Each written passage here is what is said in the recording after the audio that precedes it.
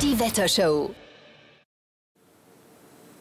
Ja, wir schauen jetzt zum Wetter. Heute wird es noch schön bleiben, aber auch hier zum Beispiel am Wolfsberg, da ziehen schon noch die Wolken auch über ein Himmelszelt. Sie verduften sich zwar dann am Vormittag und es wird etwas schöner, aber das ist auch schon der einzige Tag dieser Woche, denn es wird dann schon am Nachmittag, auch hier sieht man schon in Eisenstadt, es ist bewölkt und teilweise grau in grau und so wird es auch bleiben. Die nächsten Tage, da gibt es eine ordentliche Abkühlung. Auch hier die aktuellsten Bilder von Frauenkirchen und auch da kann man sagen, es wird leider auch bei den Bergen frisch werden und es wird, wie gesagt, eine Abkühlung geben in den nächsten Tagen.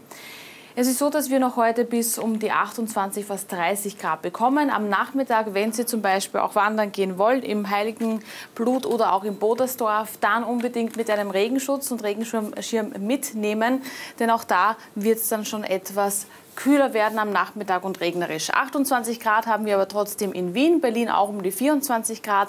In Madrid, da haben wir 33 Grad, ist aber schwierig auch dorthin zu reisen zurzeit mit den Reisewarnungen. Rom auch um die 28 Grad. Also da kommt dann auch schon vom Norden her leider auch eine Abkühlung. Aber wie gesagt, heute bleibt es noch schön. Teils, teilweise auch trocken im Norden mit 28 Grad, aber dann am Nachmittag überhaupt im südlichen Bereich von Österreich, da kann es dann schon heftig auch regnen auch wieder Gewitterwolken, die sind angesagt.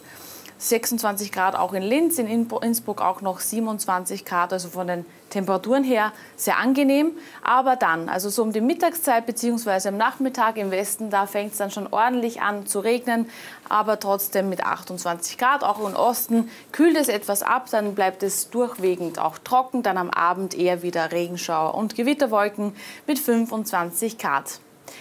Ja, und es wird leider auch, ja, der Herbst kommt, das spürt man schon, denn es wird regnerisch bleiben. Auch die nächste Woche wird nicht besser. Wir haben da einen absoluten Tiefpunkt, dann auch ab Dienstag nur mehr 14 Grad, in 19, 19 Grad zum Beispiel im Osten.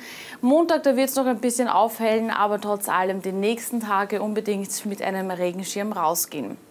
Ja, wir machen jetzt eine ganz kurze Wehrpause, sind dann aber gleich wieder zurück mit den aktuellsten Corona-Zahlen. Also unbedingt dranbleiben. Bis gleich.